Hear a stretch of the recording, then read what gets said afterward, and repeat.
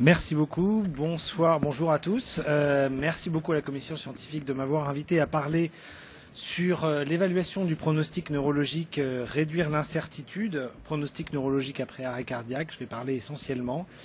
Euh, Je n'ai pas de lien d'intérêt spécifique pour cette communication. Voici mes liens potentiels. Alors, quelle est la problématique et qu'est-ce qui ne l'est pas? Alors, ce qui ne l'est pas, c'est le pronostic neurologique après arrêt cardiaque. Euh, ce qui ne l'est pas, c'est les situations caricaturales, euh, le réveil du malade ou la mort cérébrale. Ou ça, c'est pas un problème. Diagnostiquer un réveil, et encore Anne pourra peut-être en parler. Il y a réveil et réveil. Réveil pour réanimateur, c'est le patient ouvre les yeux, dit bonjour. Il est, euh, il, est réveillé et il a toutes ses fonctions supérieures, alors que probablement il n'a pas. En tout cas, il est réveillé. Quand il est en mort cérébrale, il est en mort cérébrale. Ce qui pourrait être un problème pour nous, c'est des patients qui restent inconscients une fois passé la phase initiale et euh, du fait des thérapeutiques engagées, le CLS, l'hypothermie, la sédation profonde, on sait que le réveil peut survenir de façon décalée, parfois après J7, parfois même euh, après la deuxième semaine.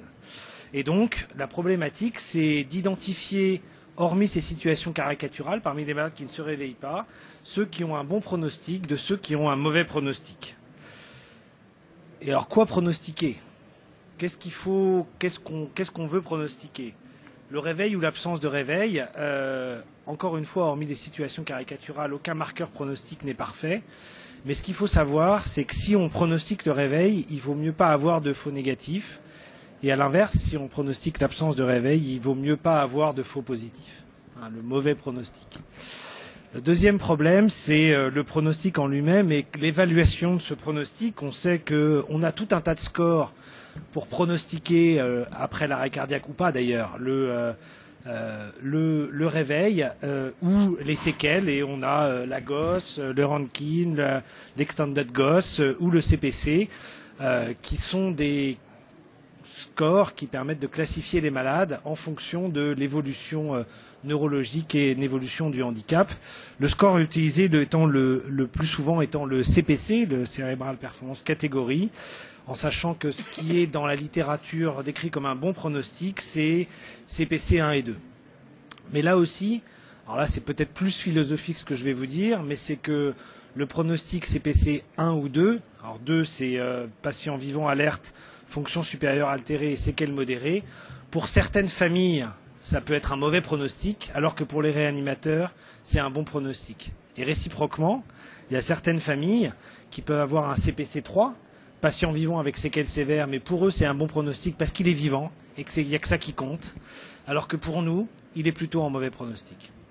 Mais bon, ça, c'est plus de l'ordre du débat philosophique et peut-être qu'on y, qu y reviendra. Euh, toujours est-il que dans la suite de mon exposé, ce qu'on détaille comme étant un bon pronostic, un réveil avec bon pronostic, c'est CPC 1 et 2, c'est-à-dire pas de séquelles ou euh, séquelles euh, modérées. Alors comment pronostiquer euh, après arrêt cardiaque le, réveil? Alors il y a des recommandations qui sont des vieilles recommandations avant l'ère de l'hypothermie, qui étaient celle-là que vous connaissez probablement, qui est cet algorithme qui dit que en fonction, dans les trois premiers jours, en fonction de l'existence ou pas de réflexe du tronc cérébral, de myoclonie, d'épilepsie, ben, on peut classifier globalement euh, la mort cérébrale ou l'évolution défavorable, CPC 1 ou 2, avec, voyez, des, euh, des, taux de faux positifs assez bas, euh, avec, quand on n'a pas tout ça, des patients qui restent euh, en pronostic indéterminé. Ça, c'est les trois premiers jours. Ça, c'était les anciennes recommandations. Et depuis l'ère de l'hypothermie, qu'est-ce qui reste? Alors, si on reprend un petit peu toute la littérature, je ne vais pas toute la refaire parce qu'il y en aurait pour des heures et des heures, mais en gros, on voit que si on regarde euh, les réflexes dans les trois premiers jours, bah, vous voyez que a des papiers qui montrent que on peut avoir des réflexes du tronc cérébral absents dans les trois premiers jours et survivre. Et ici, dans cette étude, il y avait 4% euh, des euh, survivants qui n'avaient pas, à qui il manquait au moins un réflexe du tronc cérébral, alors qu'ils étaient mis en hypothermie dans euh, les 24 premières heures. Même chose pour les myoclonies et les réponses motrices, pardon, que la flexion. Et puis dans, l'algorithme, vous vous souvenez, il y avait les convulsions précoces. Eh il y a des cas rapportés. Et puis il y a ce papier qui dit que euh, y a des patients qui euh, ont des convulsions dans les premiers jours avec des réflexes du tronc qui sont euh, conservés et des potentiels, enfin des potentiels N20 qui sont conservés, avec une réactivité électroencéphalographique qui peuvent avoir aussi une évolution plutôt favorable. Qu'en est-il de l'électroencéphalogramme? Il est peu contributif à la phase aiguë. Euh, après hypothermie, seulement s'il est plat ou euh, si on a des profils franchement pathologiques type, euh, type burst suppression, comme vous le voyez sur, sur cette diapositive, il est éventuellement contributif s'il est plat. Si on exclut les autres causes de G plat, la seule chose qui est retrouvée dans la littérature, c'est que la présence d'une réactivité à l'électroencéphalogramme est associé plutôt à un bon pronostic, c'est-à-dire à, un réveil avec CPC euh, 1 ou 2. Euh, le potentiel, les potentiels N20, ça reste, euh, même chez les patients en hypothermie, un bon marqueur. Quand le potentiel N20 est aboli de façon bilatérale, que ce soit pendant la période d'hypothermie ou après l'hypothermie, c'est plutôt évocateur, enfin c'est même associé à un pronostic défavorable avec une une spécificité euh, de, de 100%. Donc c'est, on va dire, le, le, seul examen qui est euh, assez sensible pour permettre de diagnostiquer l'évolution défavorable. Les biomarqueurs, on le sait, je vais passer vite, ça a une valeur qui est très faible. La protéine S100, très très mauvais marqueur pour prédire l'évolution favorable, défavorable. La NSE peut être, euh, peut être un meilleur marqueur quand on a des taux qui sont euh, très élevés. Il y avait un seuil qui était défini à 33 euh, dans, les, dans les trois premiers jours, en fait, on se rend compte que probablement les seuils sont un petit peu différents. Et quand on reprend un petit peu toute la littérature sur ces biomarqueurs et sur la neurone spécifique énolase, on voit que le seuil pour, dé, pour euh, définir le mauvais pronostic des bons pronostics peut varier un petit peu euh, d'une étude, à l'autre. Donc en résumé, qu'est-ce qu'il reste? Bah, Il reste globalement que quand on est en mort cérébrale clinique, c'est plutôt de mauvais pronostics. Quand on a des potentiels N20 qui sont abolis de, des deux côtés, c'est plutôt de mauvais pronostics. Mais les marqueurs cliniques des trois premiers jours, que sont la réponse motrice, l'existence de, des réflexes du tronc cérébral, qui peuvent, je vous le rappelle, être absents alors que les malades vont se réveiller, les biomarqueurs type neurone spécifique énolase ou le EG s'il n'est pas plat, eh bien, on est dans une situation où finalement on est dans des outcomes euh, indéterminés.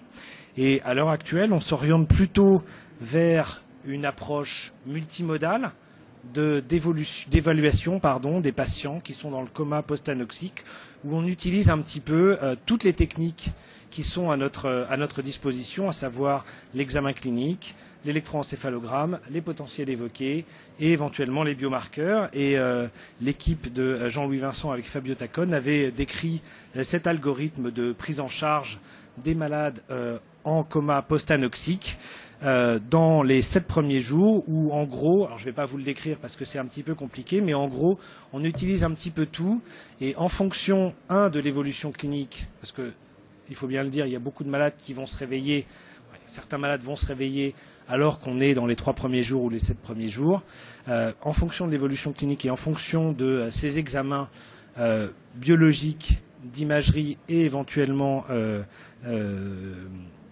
électroencéphalographiques vont orienter vers euh, soit le coma persistant, soit vers le réveil. Et tout, toute la problématique va être d'identifier euh, des malades dont le pronostic est indéterminé, dont finalement, nous réanimateurs, on ne sait pas quoi faire. Ils ne sont pas dans un état euh, où on est sûr qu'ils ne vont pas se réveiller.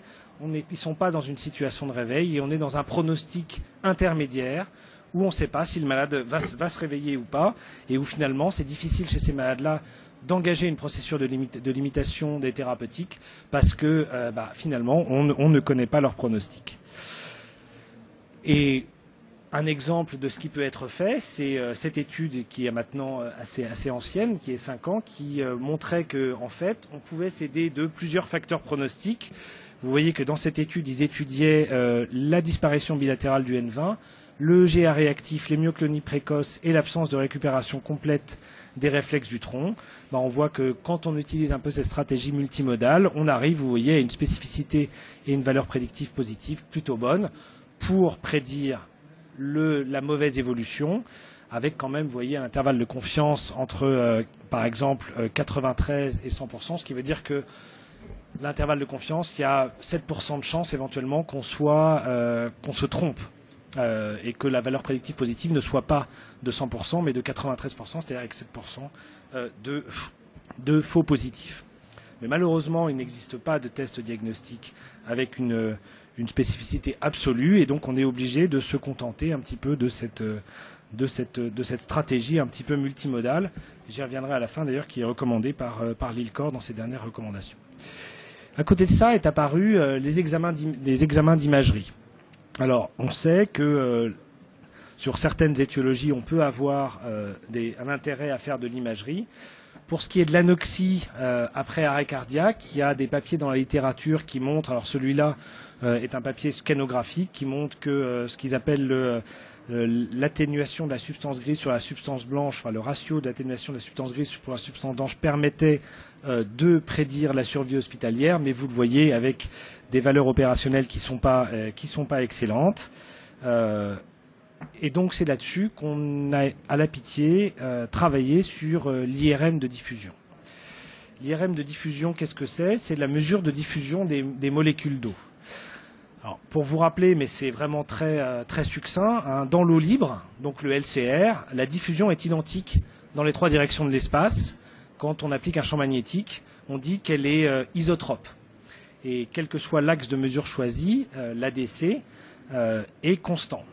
Et quand on est dans du tissu, par exemple la substance blanche, mais aussi la, substance grise, les couches de myéline restreignent la diffusion des molécules d'eau. Et donc dans les couches de myéline, si vous avez regardé l'exemple ici, la diffusion perpendiculaire est altérée par rapport à la diffusion longitudinale. On dit que la diffusion est anisotropique et elle prend une forme d'ellipsoïde euh, définie par trois vecteurs. Et c'est sur ce principe qu'on base euh, euh, la technique de l'IRM de diffusion et la prédiction de l'IRM de diffusion dans, dans le coma postanoxique.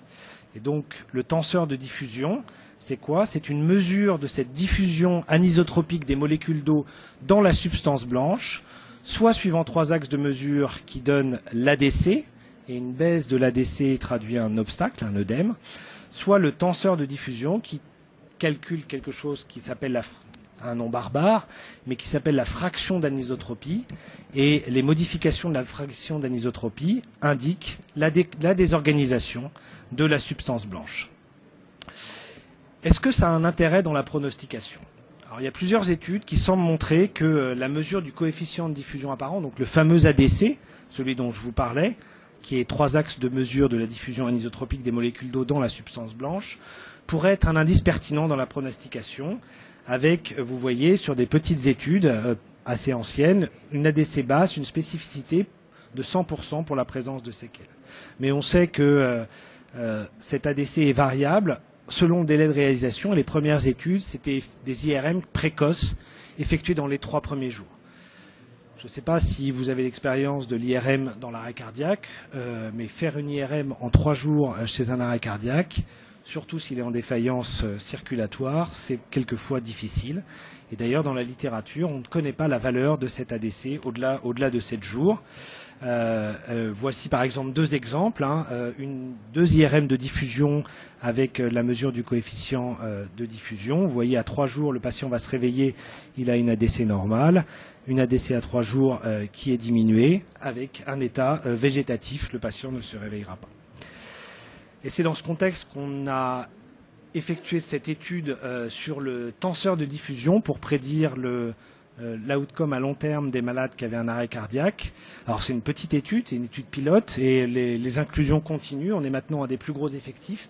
Les résultats sont pas encore publiés mais retrouvent la même chose où euh, on a évalué 57 malades, 49 euh, qui avaient un mauvais pronostic qu'on a défini par une, une, une GOS, c'est-à-dire une Glasgow Outcome Scale euh, étendu inférieur à 5, c'est-à-dire des pronostics euh, sévères, et 8 patients qui allaient se réveiller avec euh, un pronostic à un an qui était soit bon, soit, soit avec des, des, séquelles mineures, ce qui correspond grosso modo à un CPC 1-2 si vous voulez.